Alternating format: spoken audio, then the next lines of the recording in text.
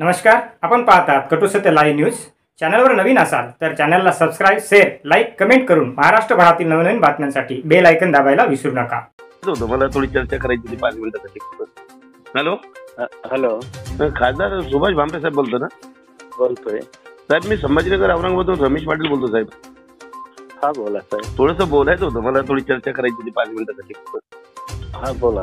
मी म्हणलं आता हे भाजपमध्ये हिंदुत्वासाठी जे म्हणजे चालू आहे तर आता याच्यामध्ये सगळे अजित दादा वगैरे आता हे समजे सेक्युलर लोक यांना काही हिंदुत्वाचं वगैरे काही जाण नाही तुम्हाला माहिती असेल ते.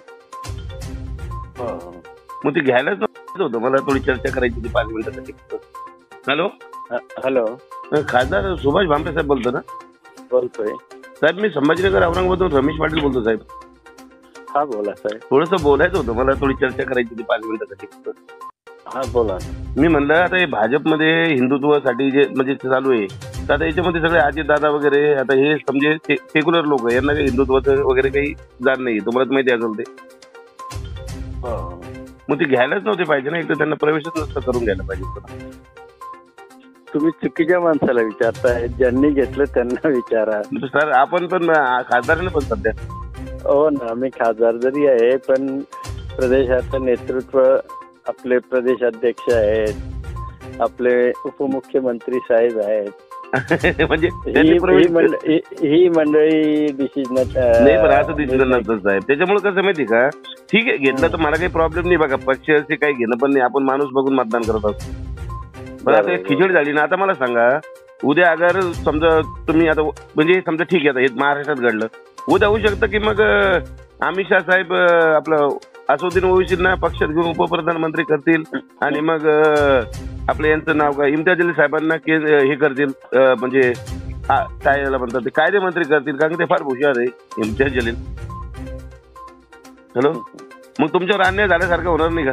नाही एवढं काही होणार नाही निश्चित करा. तर मला तर काय वाटतं माहिती का? सगळ्यांना घेऊन हे टाकावं बघा पक्षात. हे बघा. सध्या प्रश्न असा आहे ते तिन्ही पक्ष मिळून हम्म. आपल्याला जरा जड पडताय. बरोबर. आपल्याला मोदी साहेबांना प्रधानमंत्री परत करायचं आहे नाही ठीक आहे ना. आपण मतदार बघा दोन दोन मिनिटं ऐका ना. उत्तर प्रदेशला नंतर सगळ्यात मोठं राज्य महाराष्ट्र आहे. बरोबर आहे. महाराष्ट्रातनं जास्तीत जास्त खासदार पाठवायचे आहेत. आपल्याला तडजोडी कराव्या लागतात. नाही खासदार केला लोक मोदी साहेबांनाच मतदान करतील.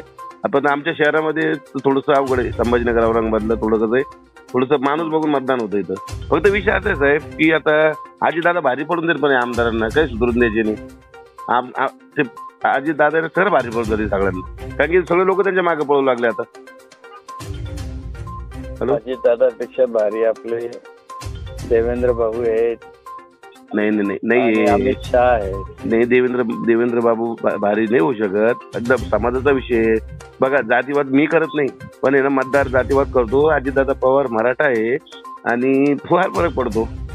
शिंदे साहेब मराठा होते ना त्यांच्या मागे पण तुमच्या भावना मी वरती पोहोचवतो. बरं मला एक विषय विचारत होता ऐका ना सर नॉर्मल हॅलो मी म्हणलं ते पण एक न्याय अन्याय केला साहेब तुम्ही राष्ट्रवादीच्या आमदारावर पण एक. हॅलो काय? तुम्ही त्यांना ते गुवाहाटीला नेलं नाही काही त्यांना हिरवळ बिरवळ ते काही दाखवली नाही. तुम्ही या direct- सगळ्या गोष्टी माझ्याशी का करताय? बरं ठीक आहे सर.